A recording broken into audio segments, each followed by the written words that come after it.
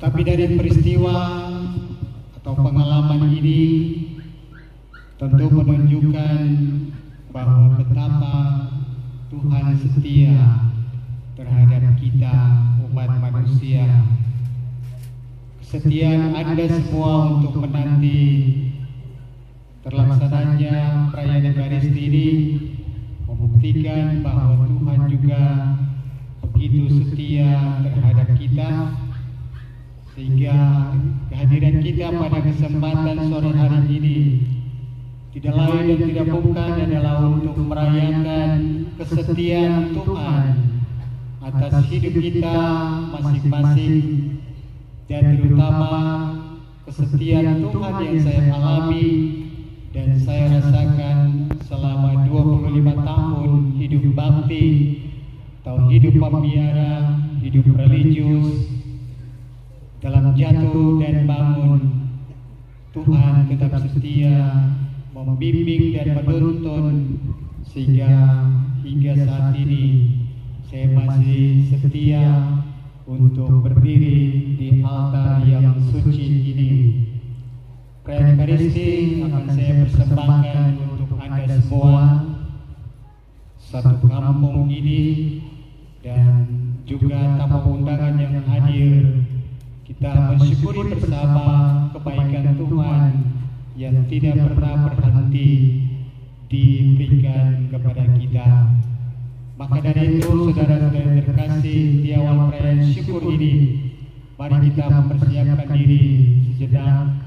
Kita mohon ampun atas segala kelemahan, kekurangan dan keterbatasan kita, agar kita layak dan pantas untuk merayakan bahkan menaikkan syukur kita kehadirannya.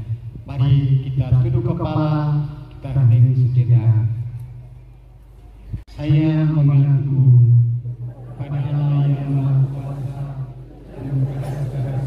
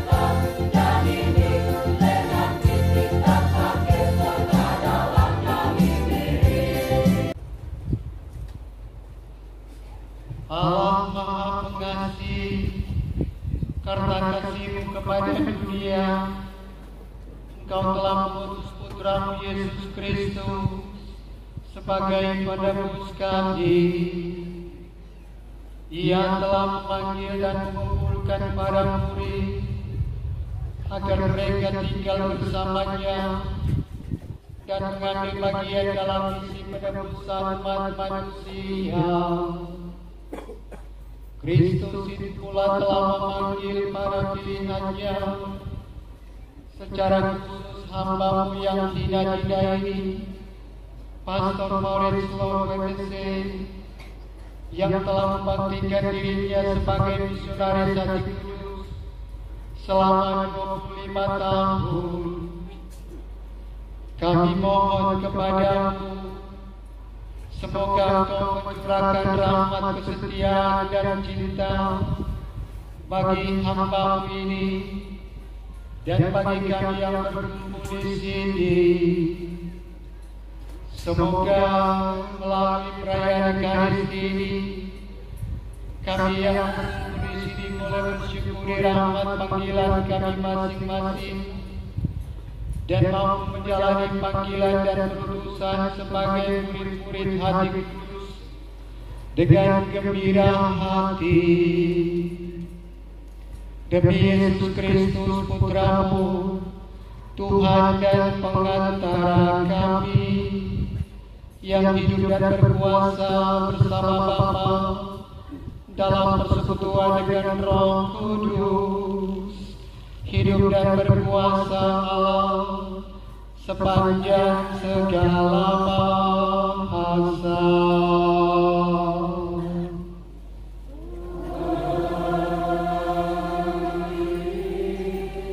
Silakan duduk kita mendengarkan dengan penuh hikmat pembacaan firman Tuhan. Dari surat Rasul pada jemaat di Korintus. Oleh karena kemurahan Allah, kami telah menerima pelayanan ini.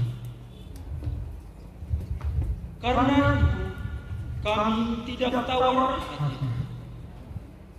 Tetapi, kami menolak segala perbuatan tersembunyi yang memalukan. Kami tidak berlaku licik dan tidak memalsukan firman Allah.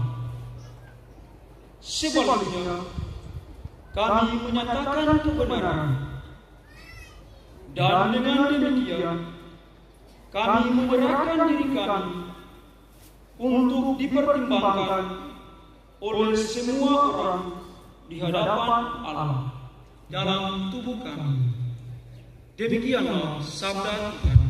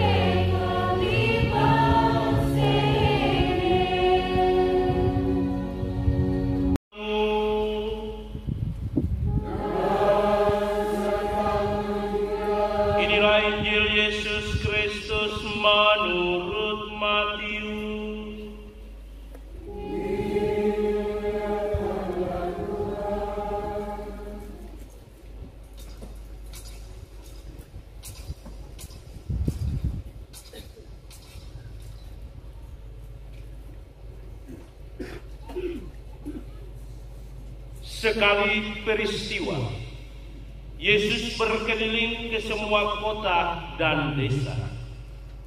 Ia mengajar dalam rumah-rumah ibadat dan mewartakan Injil Kerajaan Surga serta melenyapkan segala penyakit dan kelemahan. Melihat orang banyak yang mengikutinya, tergeraklah hati Yesus oleh belas kasihan karena mereka lelah dan terlantar seperti domba yang tidak bergembala. Maka Yesus berkata kepada murid-muridnya, Tuayan memang banyak, tetapi pekerjanya. Karena itu mintalah kepada Tuhan yang mempunyai tuayan, supaya ia mengirimkan kepada pekerja-pekerja untuk tuayan itu.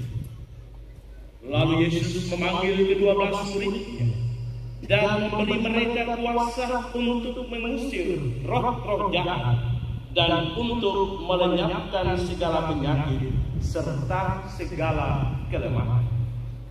Yesus mengutus mereka dan berpesan, Pergilah kepada domba-domba yang hilang dari umat Israel. Pergilah dan wartakanlah.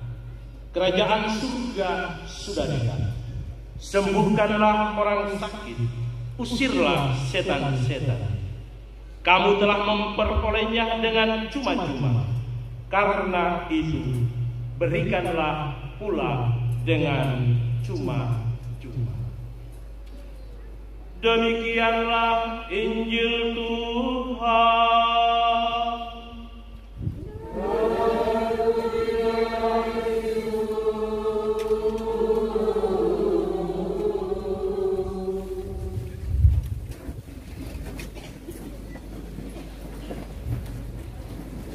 Ada pastor dan dan ada sebuah saya hitung-hitung sekitar seribu orang. Lumayan. Dan itulah alasan mengapa sore hari ini saya agak merasa nervous. Merasa grogi, merasa gugup. Gugup juga karena begitu besarnya rahmat dan belas kasih Tuhan yang saya alami. Dan karena itu saya ingat sebuah pepatah dari Afrika. When you drink water of a river, do not forget its source. Nililirian pala varye. Kalau leren doda bueno makrawe, kaketemu blufe, feti krawe de weye de nompe, nomfratu. Patuso batam blufe ratu. Dan menarik sekali apa yang dikatakan Paulus dalam bacaan pertama. Oleh karena belas kasih Tuhan, maka kami menerima pelayanan ini. Karena pelayanan itu dari Tuhan, maka lalu Paulus sungguh-sungguh tidak tawar hati di dalam melaksanakan menjalankan misi perutusannya. Tidak tawar hati di dalam melaksanakan pelayanan-pelayanan. Kita tahu bahwa Paulus itu begitu besar perjuangannya.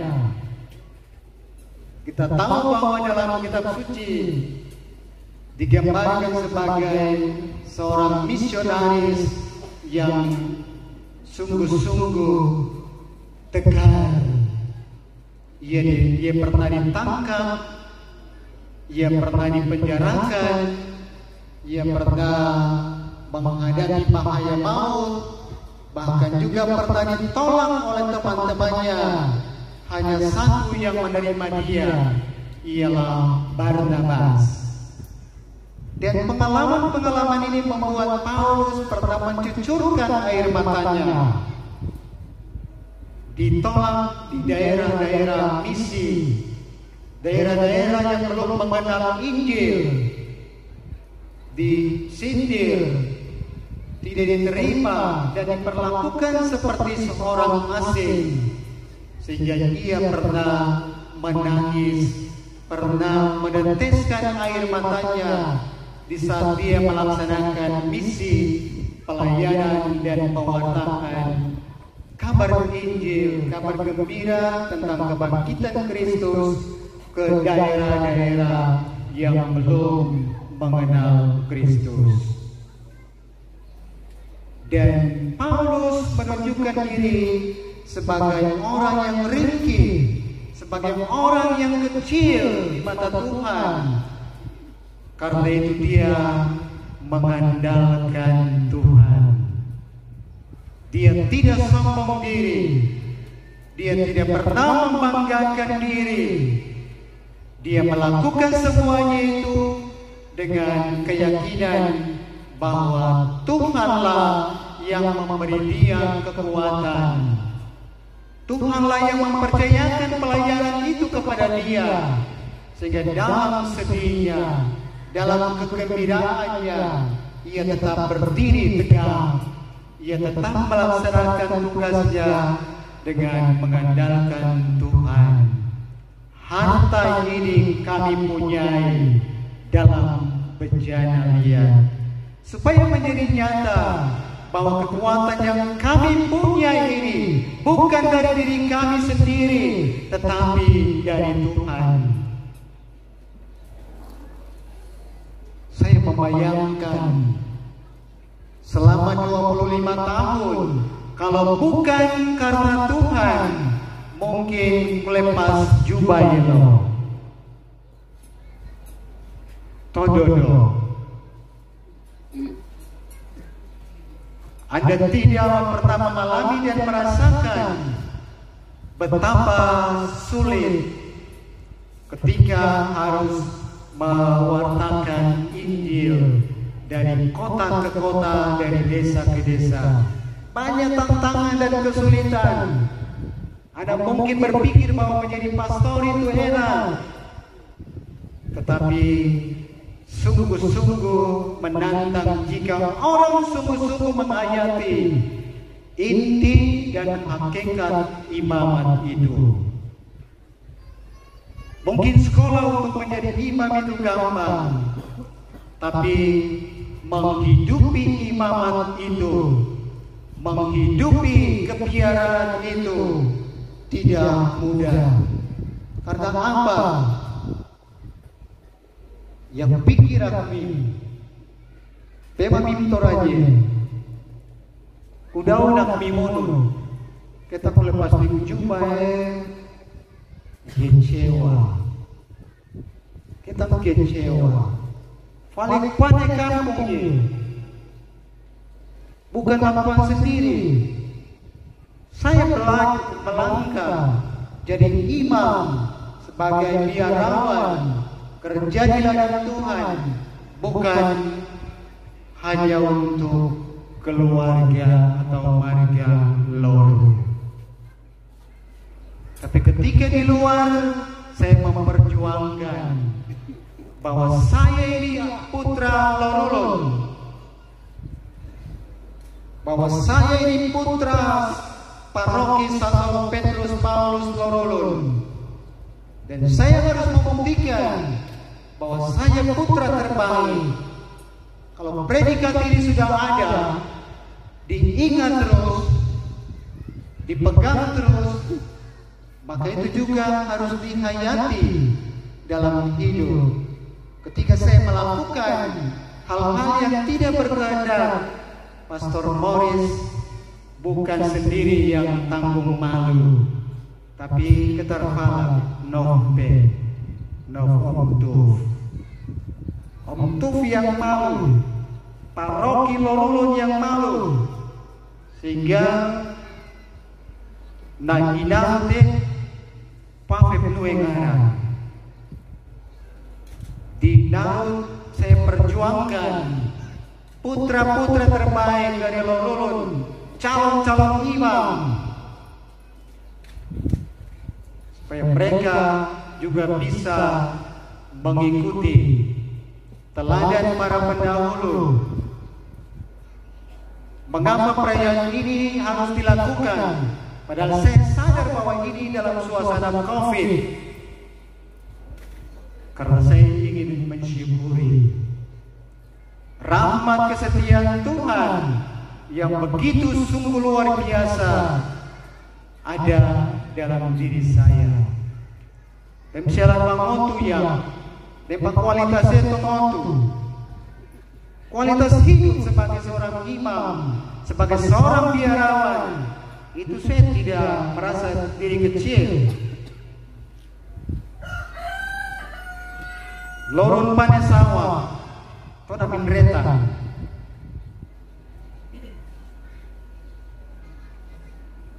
Coba sialannya, to pernah tugas lagi. Tamin sawah.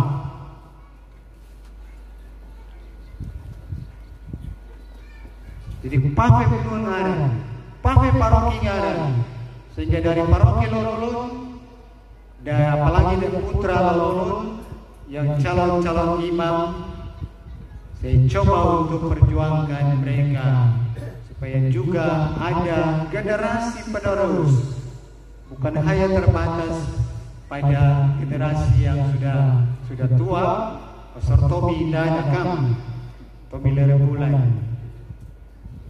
Tahu juga yang lain, Pastor Sipe, Mama Dari tahu? Jangan menyangka. Ya, beliau tetap saya perhitungkan sebagai putra Lololun, paroki Lololun. Siapa lagi? Belum Pastor Alvin adalah generasi selanjutnya. Lalu baru saja kita biskin Ibnado kemarin bulan Juni Pastor Andreas Buanlele. Dan nanti seterusnya kita berharap bahwa nanti calon-calon yang sedang dalam proses pembinaan di Pineleng itu nanti bisa berjuang terus supaya tetap ada generasi-generasi putra-putra terbaik yang dipanggil untuk bekerja di kebun anggur Tuhan. Saudara terkasih dalam Tuhan, tadi saya katakan bahwa dalam suasana COVID tetap dilaksanakan perayaan ini paling dua 25 tahun mah Toto Sevesta Tot bersyukur maka boleh bengduek muate Toto Sevesta mate jadi kesempatan. Tidak usah buang-buang waktu. Kita buat pesta dalam suasana corona juga tidak apa-apa. Yang penting ada saling berjumpa makan sambil cerita, saling meneguhkan satu dengan yang lain. Dan terutama karena saya sadar bahwa kasih Tuhan untuk saya sungguh luar biasa. Sangat besar. Saya merasa bahwa perjalanan hidup saya sejak dari pembinaan sampai pada akhirnya ditabiskan dan melayani sebagai imam. itu rahmat dan berkat Tuhan. Tidak pernah berkesudahan.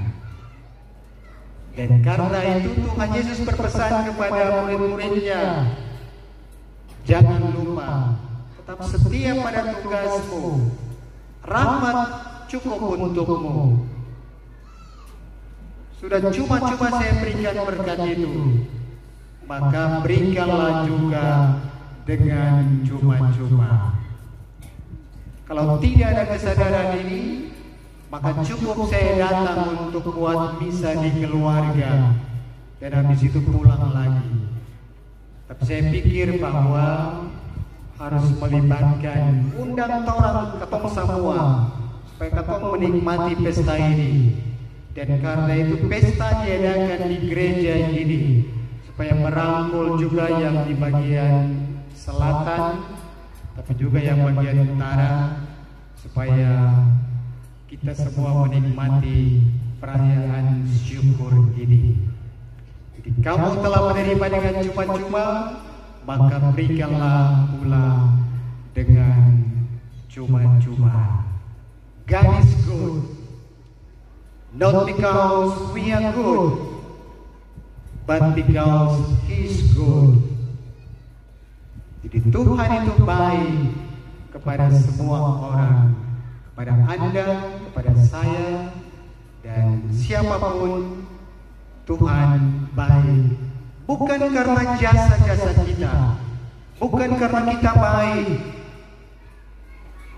sehingga Tuhan baik terhadap kita, tapi karena Tuhan itu pada dasarnya baik. Kita cukup membalas kebaikan Tuhan dengan belajar setia pada panggilan hidup kita masing-masing. Sehingga Paus mendiang Paus Yohanes Paulus kedua pernah mengatakan bahwa kesetiaan keluarga adalah kesetiaan para imam, para religius, biarawan-biarawati, dan kesetiaan kami sebagai imam, biarawan-biarawati, religius adalah juga kesetiaan keluarga-keluarga Kristiani.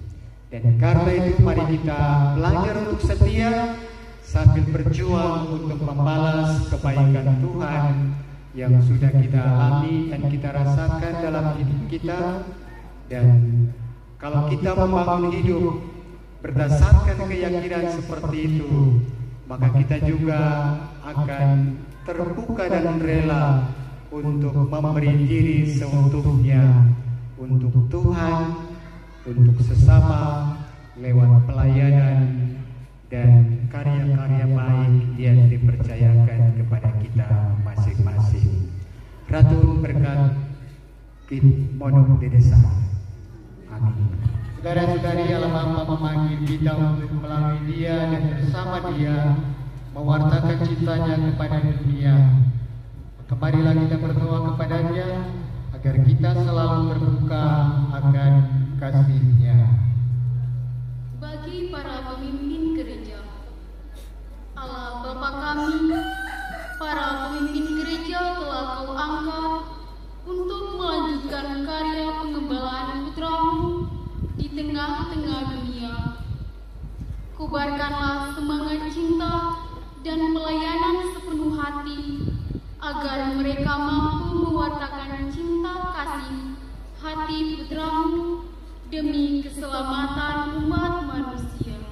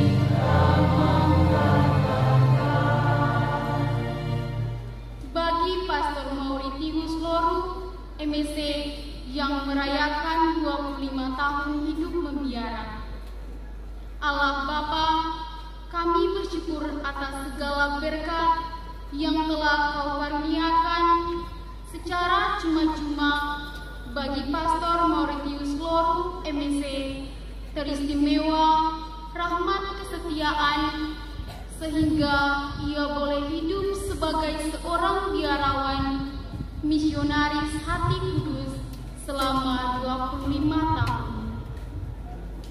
Kami mohon semoga perayaan syukur ini memberikan kekuatan dan sukacita bagi dunia, bagi dia untuk menjalani kehidupan selanjutnya sehingga dia dapat terus menjadi contoh bagi para konfrakternya dalam hidup berutusan mereka dan semangat bagi keluarga dan umat yang ia jumpai.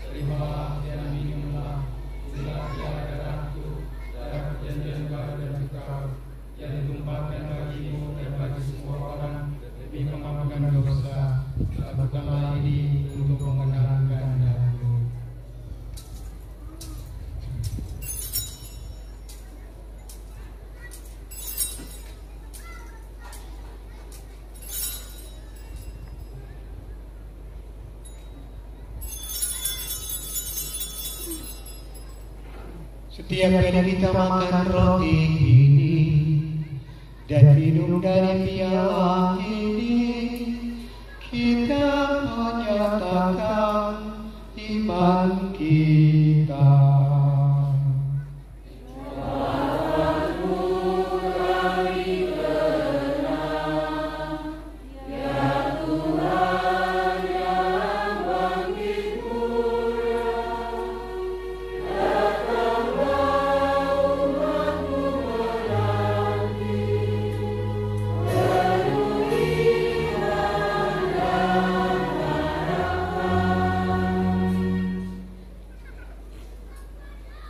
Oleh karena itu ya Bapa yang kudus dengan gembira kami mengenangkan segala sesuatu yang telah diperbuat oleh Yesus Kristus demi keselamatan kami.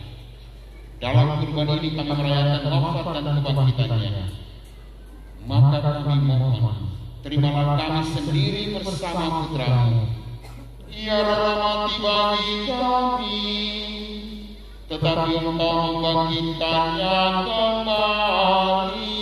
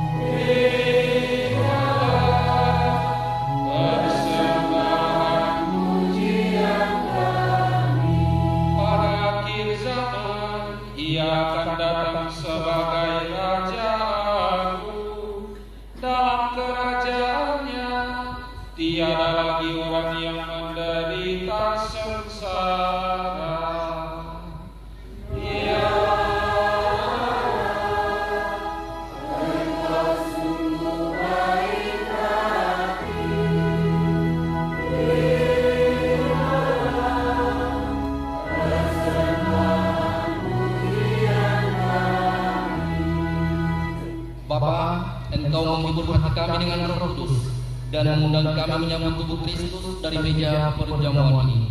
Semoga makanan ini menguatkan kami dalam mengabdi Engkau. Ya Bapa, dampingilah Bapa Suci Fransiskus, Bapa Uskup kami Petrus Cornelius Mendaki, dan para uskup semuanya.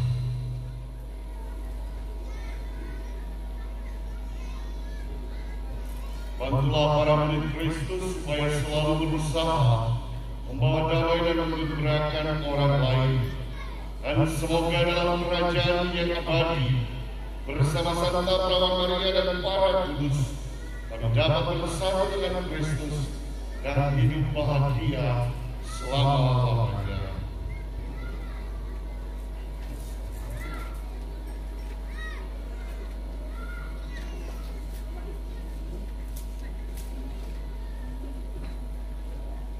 Dengan pemandangan Kristus bersama dia dan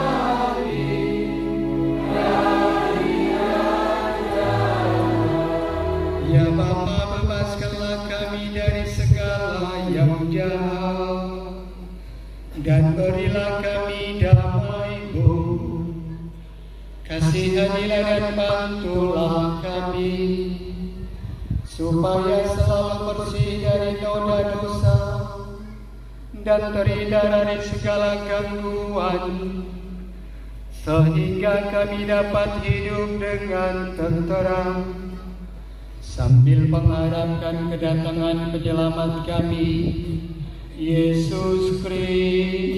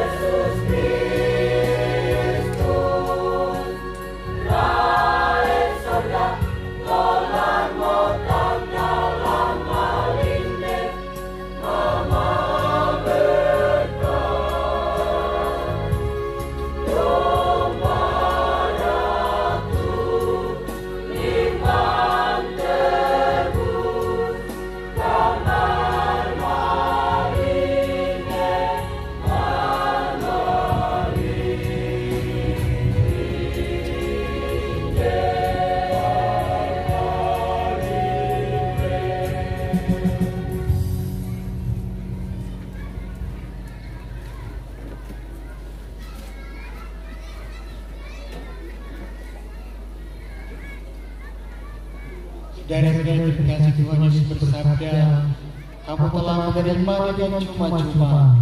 Karena itu berikanlah pula dengan cuma-cuma. Tuhan yang besar itu memegang kita untuk bersatu dengan Dia. Maka berbahagia kita sekalian yang saat ini diundang ke dalam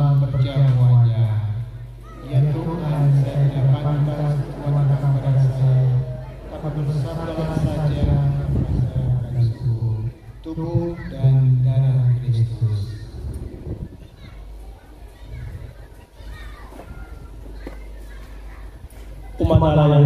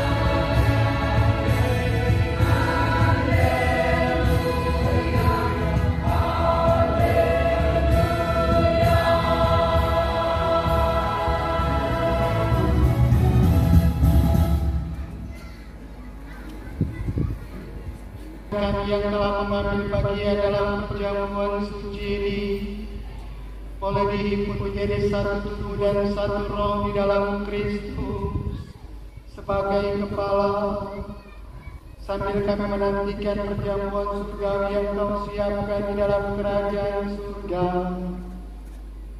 Perkenankanlah kami semua yang berkumpul di sini semakin bertemu dalam panggilan yang telah engkau percayakan kepada kami masing-masing sehingga panggilan kami boleh menjadi berkat bagi semua orang yang kami jumpai dan kami layani demi Kristus Tuhan dan pengantara kami kini dan sepanjang segala masa.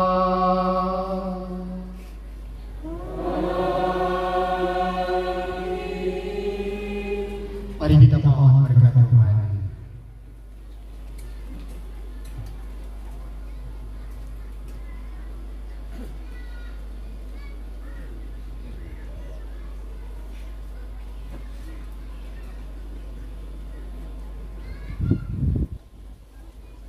Umat Allah yang terkasih, kita akan melanjutkan upacara seremonial.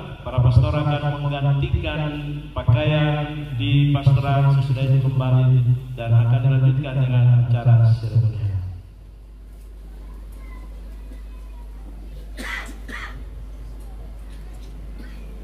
Tuhan beserta kita.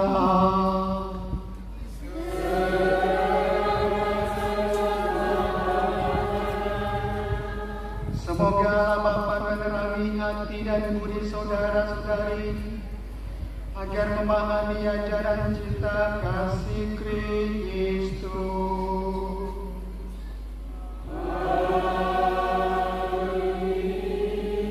Semoga Roh Kudus menguduskan saudara-saudari agar kehidupan aman dan damai dan menghadirkan damai sejahtera bagi banyak orang.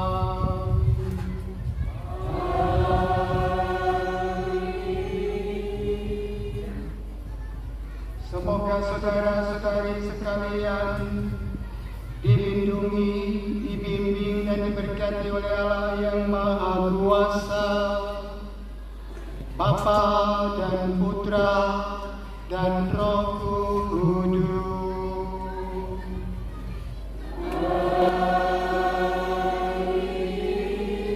Saudara sekalian, perayaan Ekaristi dalam rangka 25 tahun hidup pembiara sudah